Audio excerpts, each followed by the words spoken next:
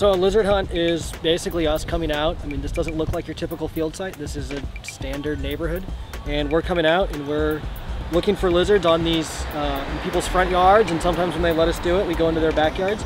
And we're just coming out with our with our nooses and we're going up to the little lizards and we're we're noosing them as a way to catch them. And we would love to be catching some native lizards to document some of them in this area, but all we see really are the Italian wall lizards. So most of what we're out here doing is catching the Italian wall lizard. Well, it's important to find out what's here because we know almost nothing about these Italian wall lizards. We know that they were introduced in 1994. We know that they've spread, but that's sort of it. So we also know in their native range that they eat smaller lizards. So are they out here? Are they competing with our native lizards? Um, when these lizards were introduced, did they carry some parasites with them that maybe they brought to our native lizards? Um, and maybe, because they do eat smaller lizards, maybe these guys actually are coming out and they're eating some of our native lizards when they're young. So we don't know any of that right now, and that's what we're out here trying to find out. So I think what's exciting about this is it really highlights the, you know, the biodiversity story for LA is not just about our native species, but it's this combination of native species and non-native species, and sometimes the impact those non-native species are having on our natives.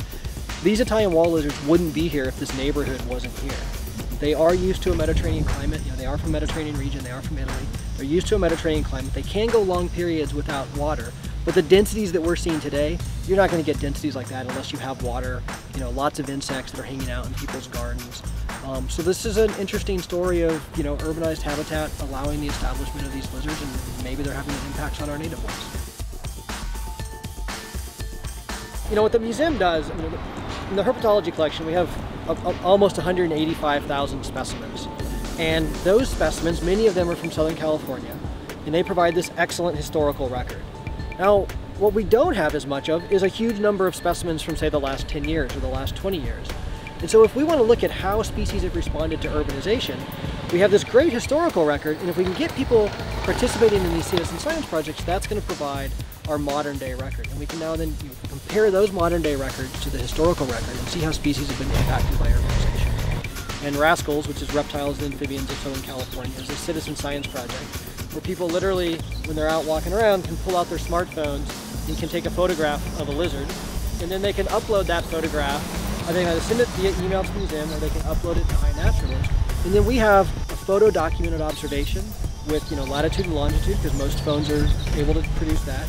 And we have you know a date, so we get locality, date, and a photo to verify what it is. And what's great about that is we can learn about where these animals occur in, you know, all across Southern California.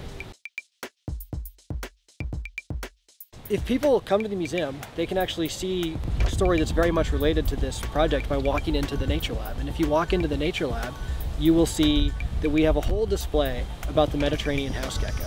And the Mediterranean house gecko, the reason we talk about that is because a father and son team were going out and taking photos of reptiles and amphibians that they saw. And they took a picture of a lizard they couldn't recognize, they didn't recognize.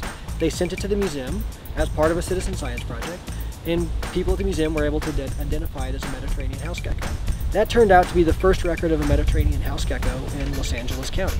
Myself and a research associate worked with that father and son, and uh, Reese and Will Bernstein are their names. And they actually just published that county record in a journal called Herpetological Review. So Reese, who is now 12 years old and in the seventh grade, is published in the peer-reviewed scientific literature.